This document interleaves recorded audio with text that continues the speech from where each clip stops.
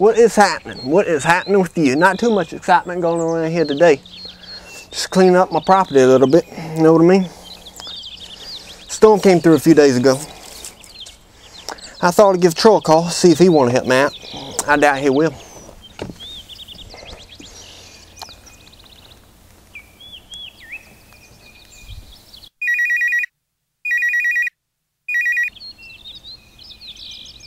You have reached Troy's voicemail.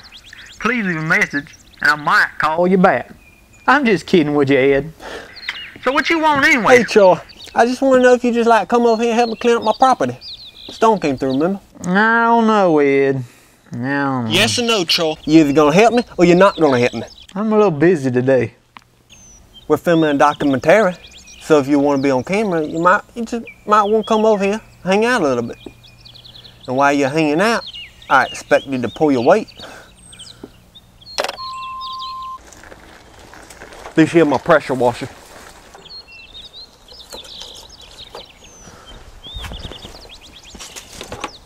Just gotta check everything, make sure everything's working properly. Know what I mean?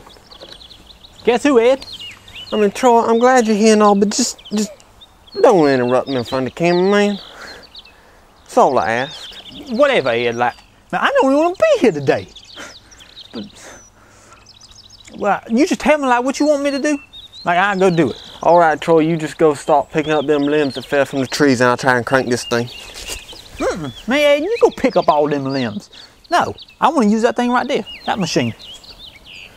Troy, just do what you're told. Stop trying to cause a scene in front of the camera, man. Just...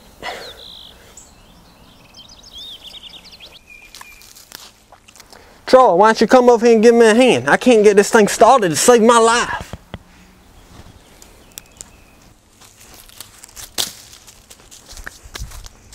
Ed, I see the problem right here.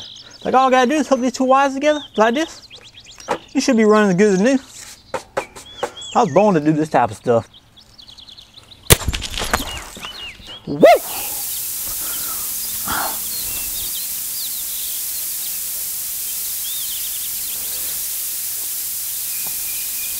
Hmm. Troy, I think it's best if you left. I think it's best if you turn that camera off right now. Oh, and by the way, Troy, I never want you to ask me for anything ever again. You got that? Now leave my property now. Don't worry about that, Ed. Never have, never will. Hey, Ed, you mind giving me a hand? I kind of locked my keys in my vehicle.